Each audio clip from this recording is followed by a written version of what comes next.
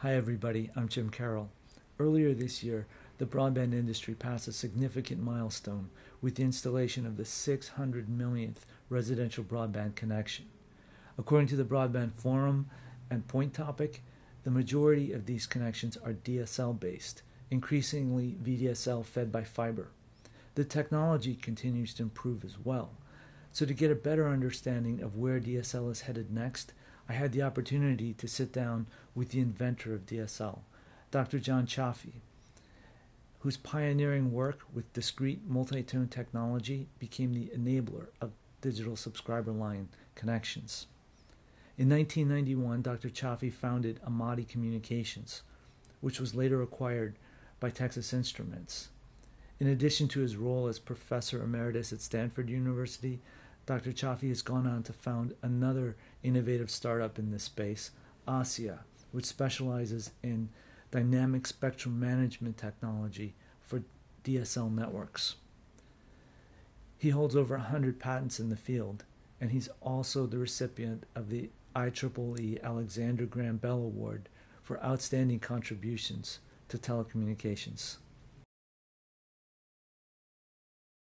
DSL is, is actually very healthy on a, on a global basis. There's little more than 400 million paying subscribers uh, for DSL service around the world, and that has been continuously growing um, over really the last eight or nine uh, years at a pretty pretty state uh, pretty steady pace.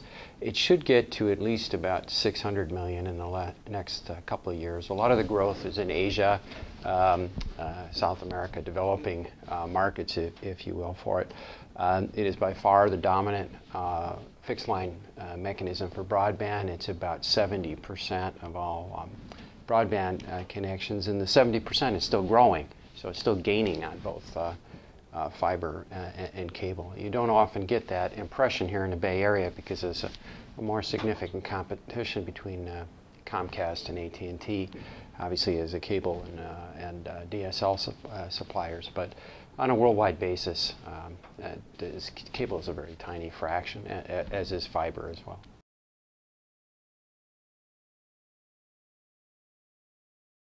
It is still expanding. Uh, the, the, the, market data is pretty clear. We, we track it um, every quarter uh, from the professionals who do this, and we actually break out.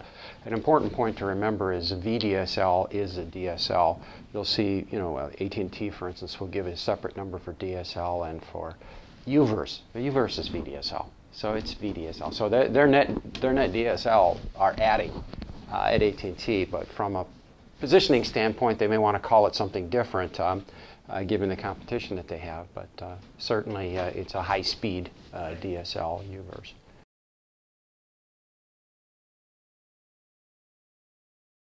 It's been, you know, a, in a general sense, pretty spectacular. I think wireless has probably grown even faster yet, but it's certainly, if you take that, you know, that growth away from the picture, it's been a very healthy uh, growth curve uh, even through bad economies and so forth, they continued to expand the last uh, 12 or 13 years. I've always had a strong belief in copper versus fiber, and we can go into that later if you like. But the, the uh, you know, the, the, the cost of, deploying a fiber, especially all the way to, to someone's residence, is very high, several thousand dollars per customer. I think it's pretty clear now. And so the return on investment for that just never made sense. Fiber makes great sense in the network between high, you know, congestion points and such. It's a nice technology. So, um, but even I was surprised at, at, at how cogent that that that um, that copper argument is and how long it's it's held true. It's held true for more than 30 years now, and and there's really no end in sight from a practical standpoint on the difference on the return on investment. And now the DSLs are running, you know, 100, 100 megabits per second and more, uh, so we see more and more of that in the future. So it's, it's handling uh, the broadband need.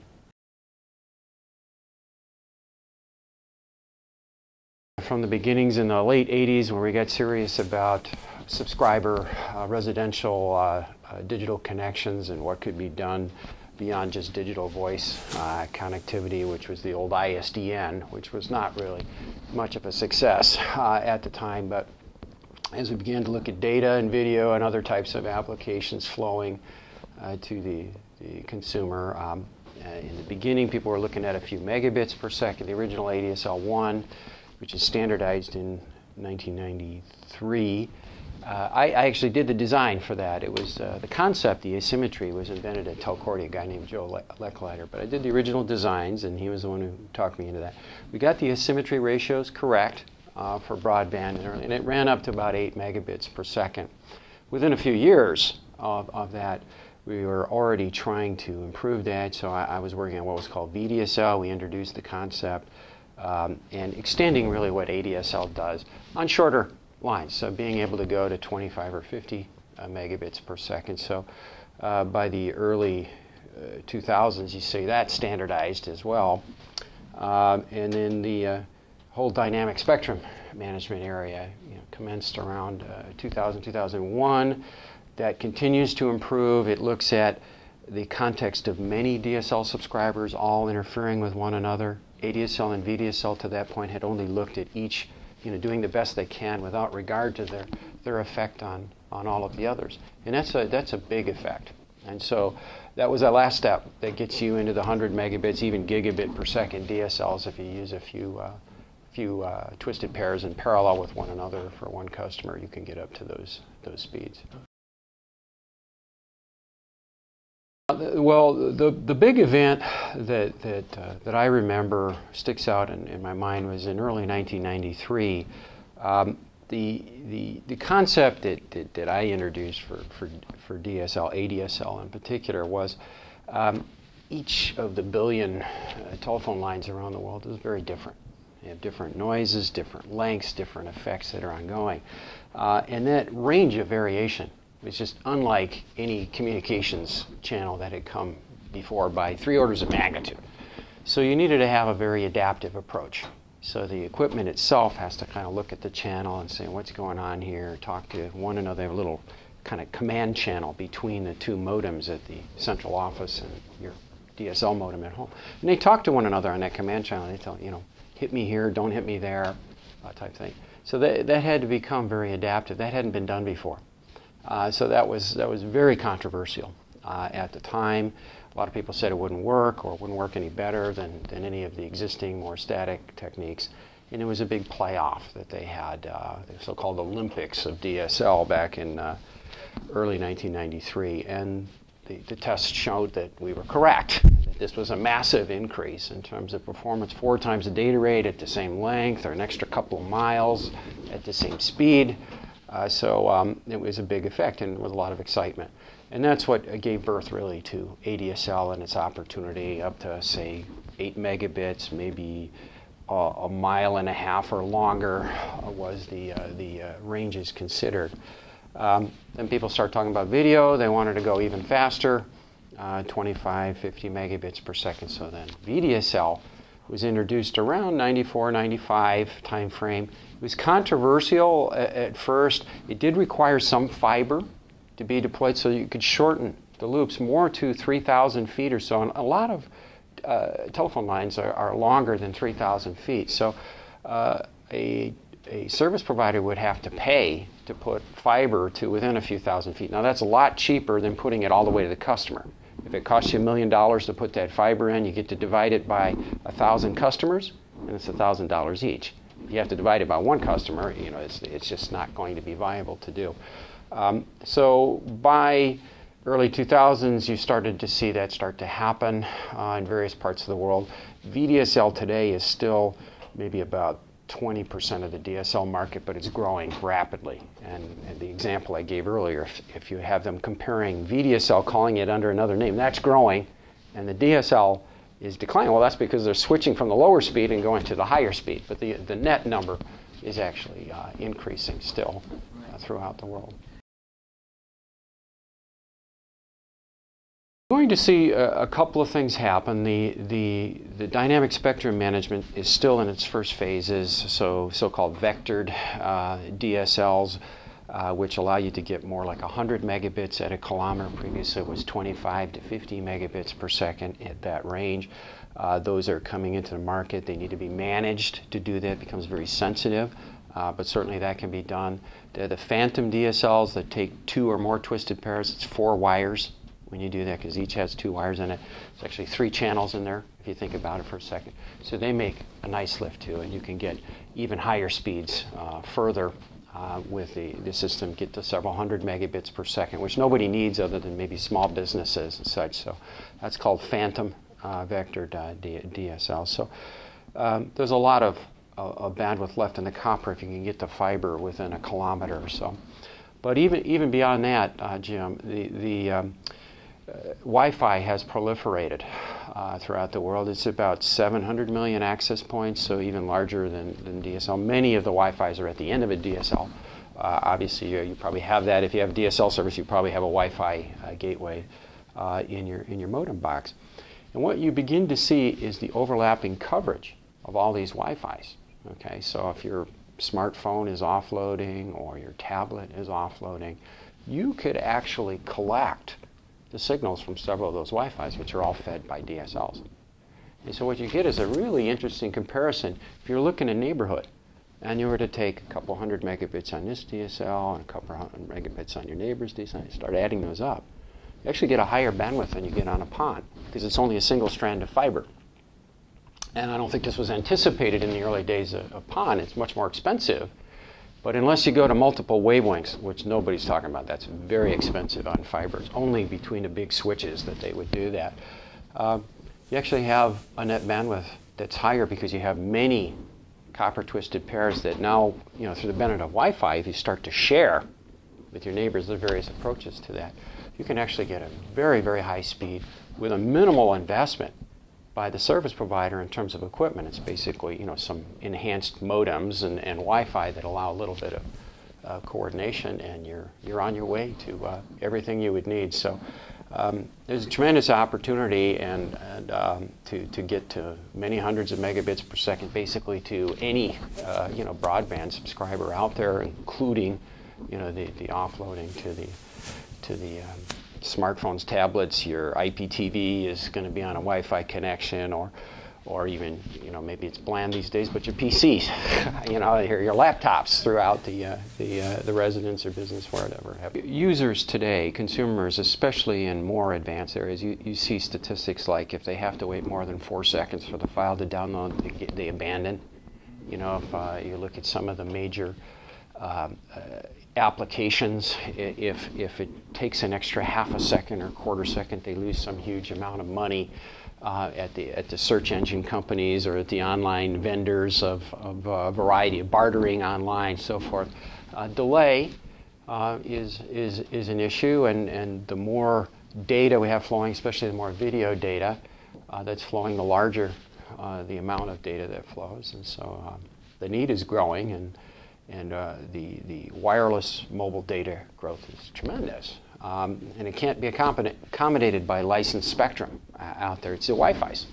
There's the little small cells that really have that, that spectrum. It's unlicensed, it's free, and that's where you see everything going. And you, you, probably do this several times a day yourself where you're offloading with your smartphone or your tablet to a, to a Wi-Fi because you're getting a better experience on that.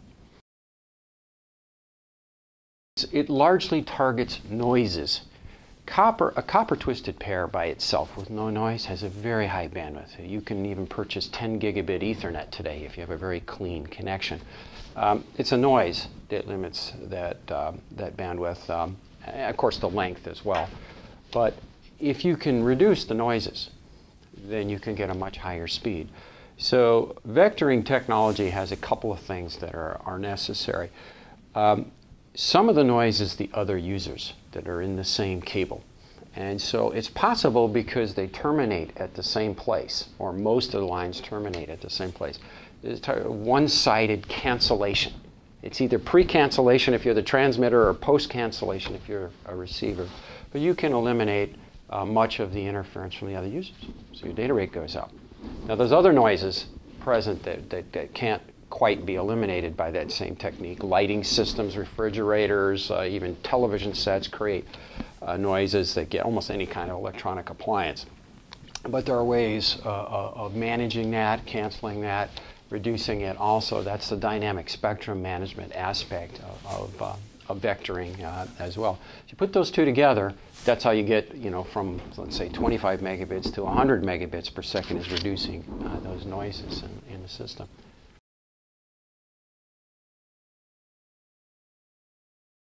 It doesn't have to be a whole node at once. There's a misconception of that, but it is a, it's a sequence of steps where you can incrementally start to reduce the amount of noise that any one connection sees.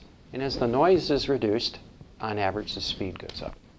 And so uh, that's what dynamic spectrum management is about: is, taking advantage of these multi-user interactions uh, and any other information you can get to further the speeds on DSL. So it's not a violation of any fundamental law of physics. It's basically just exploiting many things that had never been originally exploited uh, in DSL. Some of the major equipment vendors announced the Vector Ready um, uh, equipment. Uh, that's happened over the last uh, year or so. Uh, the management of that equipment is something that ASSIA sells with its products. We're probably the top company in the world in terms of, of sales of uh, dynamic spectrum management products. We have about 60 million um, lines that we manage already around the world, and that's, that's growing uh, still, still rapidly. So, uh, you know, both sides of what you need are, are, are coming into the marketplace. Uh, and now it's a lot of it is still in kind of test and trials on the, the higher ends, the 100 megabits and beyond. Many of the earlier techniques are already in place on the 60 million uh, customers already.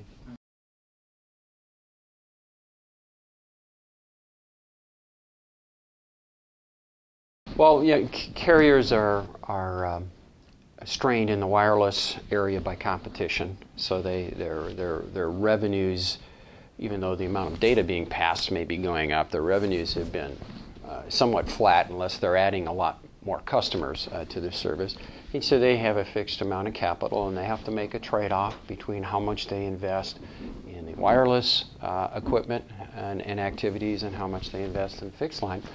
Um, but the smart ones are balancing that because the fixed line, the offloading, is absolutely crucial to the wireless success in the future. So if you go all wireless and you don't have a way, somehow, either through your own network or relationships on other networks or, ways to, to essentially unbundle uh, the, the bandwidth, uh, you're, you're, going to have an issue uh, in terms of how you grow your, your speeds.